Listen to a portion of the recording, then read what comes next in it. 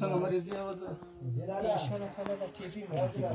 او سره د جسم بیا دی په عذاب وو باندې ته یو دوا مشه نه خوړه ده چې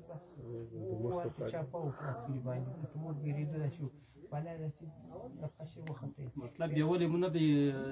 شاخ یا ډاکټر ته راوستل هغه ډاکټر مو ته راوستل یو دوه کس مو سره راوستل هغه باندې مو راوستل چې نه جوړېدو د یو څه وخت د دنیا څخه د ته دلته راځه دی مو مخ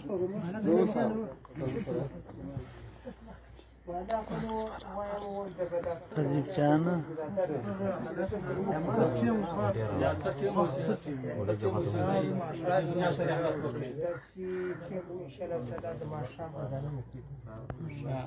بیا نو د جنازه او ترتیب بیا سار سره بس پاکه شپه کې مو بس د شپې مو بیا پټ کړئ د لید نږدې د زیارت په لید نږدې بس یو ځای مو امانت کوي بالا مو غږ وسوسولی بالا نو چې بیا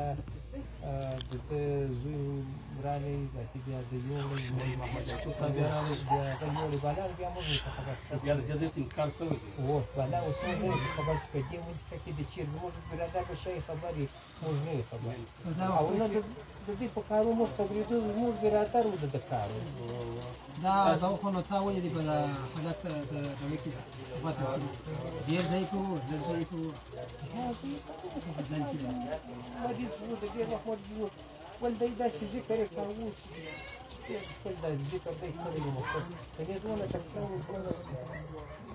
ورځ مولوي صاحب راغلی نه کوټ صاحب لوی مازګر نه راغلی سورې درمخ وروسته خبر څومره راغلی و وروسته خبر ولا وزه بل زه نه وم بل زموږ ورور و زه وروسته بیا خبر شوم چې کړي ول راغلی موږ سره غرمه تیر کړل برمه خو دا چې کار وایي خو موږ شکر ته په کور کې ډیر چې زه نه یم بل ورور یې نو خو راشي خو دې خبر دې کړي یا چې امر اخستی چې موږ درته د ملاقات مش پوي خو نو د سره ډیر ملاقاتونه نه کېدل د ده سره د ده سره له دې موږ ما چې هیچا ملاقات زه په کور په ما ته امر